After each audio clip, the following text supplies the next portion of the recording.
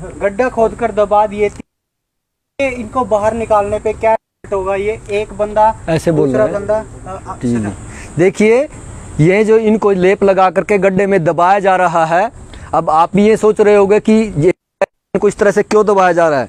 परंतु इससे काफ़ी इनके रोग ठीक होने वाले हैं।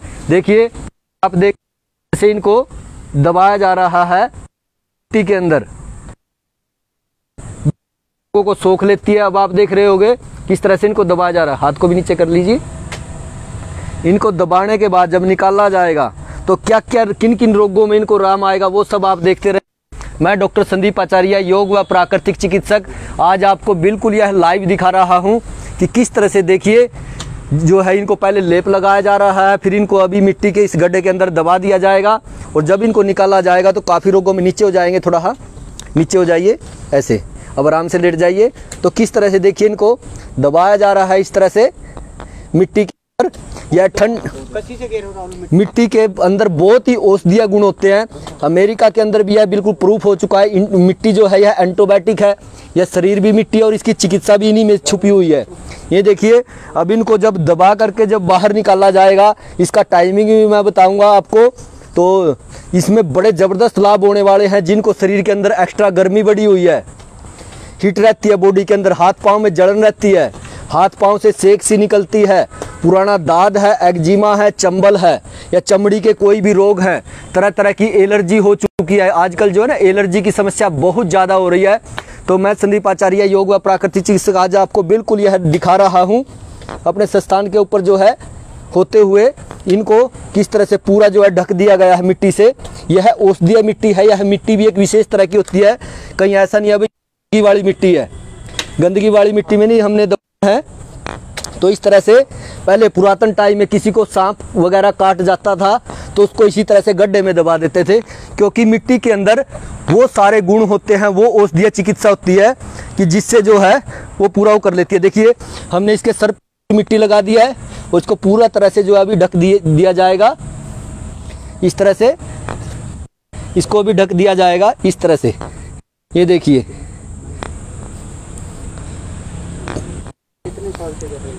ये कई सालों से हम करा रहे हैं यहाँ पे, और जिसकी भी अभी तक हमने कराई है ये चिकित्सा, आज इनकी दूसरी सीटिंग है। आज इनको दूसरी बार मिट्टी में दबाया गया है अभी। और ये खुद भी बताएँगे आपको इनको कितना आराम आया है। जब इनको निकाला जाएगा तो ये खुद भी बताएँगे कि मिट्टी में दबने से इनको कितना ज़्यादा लाभ हुआ है और मिट्टी डालो फ़र्स्ट सीटिंग में इनको कितना लाभ आया था, वो भी सारा सारा दिखाया जाएगा, बताया जाएगा। और इनको, जो मैं रोग बता रहा हूँ, जैसे पुरुषों के भी कुछ सेक्सुअल डिसऑर्डर के भी रोग होते हैं तो उनके अंदर भी यह बहुत तो अच्छा काम करती है। और जो आप ये पूरा देख रहे हो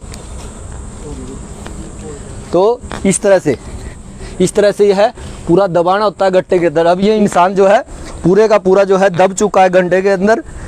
तो इसको जो है बहुत ही ज़्यादा लाभ होने वाला है अब इससे। ये देखिए मिट्टी के अंदर पूरा इसको दबा दिया गया है। इनको बाहर निकालने पर क्या रिज़ल्ट दिखेगा? आपको अभी डेमोस्ट्रेशन दिखाएँगे इनकी बॉडी कैसे रिएक्ट जो इनके रोग थे शरीर में वो कैसे रिएक्शन उनका दिखेगा? कितने प्रकार के रोग ठीक होते हैं सर इससे? इससे मैं बता रहा हूँ जैसे मैंने पहले ही बताया है जितनी भी तरह की एलर्जिक प्रॉब्लम है आजकल जब से चाय का सेवन लोगों ने बहुत ज़्यादा सेवन शुरू कर दिया है वो और कर दो।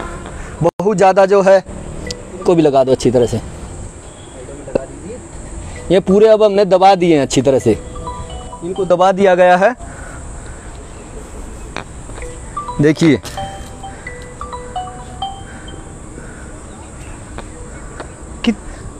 ये देखिए। शरीर वात पित्त कफ में कैसे काम करता है? ये शरीर के तीनों दोषों को जो है संतुलित करता है क्योंकि ये मिट्टी जो है इनके सारे रोगों को ऐसे खींच लेगी। अब ऐसे खींच लेगी जिस तरह से जो है शरीर के अंदर जितने भी रोग हैं कम से कम सौ से ज़्यादा रोगों में अकेले ये मिट्टी चिकित्सा काम करती है मिट्टी जो है। तो यह एक विशेष तरह की होती है कहीं गंदगी की मिट्टी नहीं तो इनको दबा दिया गया गड्ढे के अंदर। कितनी गहराई में दबाया है? इनको जो है दो फीट की गहराई में दबा दे, देना है। और इतनी तो दो तो तीन तीन चार चार इंच जो है दब जानी चाहिए ताकि मिट्टी के पूरे संपर्क में पूरी की पूरी बॉडी आ जाए। खोदो खोदो। तो अब मैं इनमें से आज एक पेशेंट की जो है ये दूसरी सीटिंग है। अब ये आपको इसमें से निकल करके बताएँगे कि किस तरह से इनको कितना लाभ हुआ है। थोड़ा सा इन, इन इनको इनको करो पहले इनको जी जी। ये दोनों ही पेशेंट बताएँगे। ये तो हमने एक डेमो के तौर पे आपको जो है तरीका दिखाया है। आज इनकी दूसरी सीटिंग है यहाँ पे। चलिए धीरे धीरे अब इसको मिट्टी को हटाते हुए बताएँगे। जी बताइए। देखिए ये मैं अब दूसरी बार ये थेरेपी करा रहा हूँ यहाँ से। तो मेरे को जैसे बहुत ही ज़्यादा गर्मी महसूस होती थी और एलर्जी वगैरह ऐसी खाज खुजली सी होती थी। तो जैसे ही मैं पहली थेरेपी पे यहाँ कराने आया तो मेरे को बहुत ही ज़्यादा आराम मिला। और बहुत ही मतलब तंदुरुस्ती, अंदर से मतलब का शरीर मेरे को ठंडक से महसूस होती है और जो भी मेरे खाज खुजली की प्रॉब्लम थी, ये सभी दूर हो चुकी है और मैं बहुत ही अच्छी थेरेपी मानता हूँ उस चीज़ को और मेरे को बहुत ही फ़ायदा मिला इस थेरेपी कराने से। तो ये प्रॉब्लम जो है पुरुषों की जो सेक्सुअल डिसऑर्डर होती है, जैसे सपन दोष है, इन चीज़ों में बड़ा आराम करते हैं। जितने भी गर्मी जन्य रोग हैं तो उनमें अच्छा आराम करती है। अब आप भी खड़े हो जाइए थोड़ा धीरे धीरे आराम से आराम से खड़े हो जाएँगे और बताएँगे आपको भी आपको इस दूसरी सीटिंग में जब पहली बार आप आए थे तो आपको कितने रोग थे? और आज इस दूसरी सीटिंग में आपको क्या फ़ायदा हुआ जो है? बताइए। ये मेरी दूसरी सीटिंग है मेरे को स्किन एलर्जी और शरीर पर थोड़ा मोटापा था। पहली जब सीटिंग मैंने कराई तो मेरे को स्किन एलर्जी में बड़ा आराम मिला। और धीरे धीरे आचार्य जी ने जो हमारे डाइट वगैरह दी थी बताई थी उसका मैंने सेवन किया। पालन किया बताई हुई बातों का। उसमें मेरे को मोटापे में भी आराम मिला लेकिन आज मेरी दूसरी सीटिंग है देखते हैं उसके बाद जैसे ही मिट्टी में मेरे को दबाया गया मेरे को काफ़ी रिलीफ है। स्किन एलर्जी में भी आपको आपको खिंचाव भी महसूस हो रहा था इसमें जैसे एक रोग चूसने लग रही हो मिट्टी इस तरह से? ब्लड सर्कुलेशन जैसे चलता है मुँह थोड़ा होता है हमें इस तरह का लग रहा था कि एक ठंडक हमें मिल रही है बॉडी में। पूरी ठंडक महसूस कर रहे थे? जी जी। ठीक है। मिट्टी लगाई जाती है? ये देखिए ये मिट्टी जो है इसका लेप एक विशेष तैयार जैसे तैयार होता है। इसमें जो है नीम गंधक काफ़ी चीज़ें जो है हमने मिला करके लेप तैयार करते हैं इसको। तो ये पूरे सारे चरम रोगों को ब्लड इन्फेक्शन को, सारे रोगों को जो है दूर कर देता है। जी।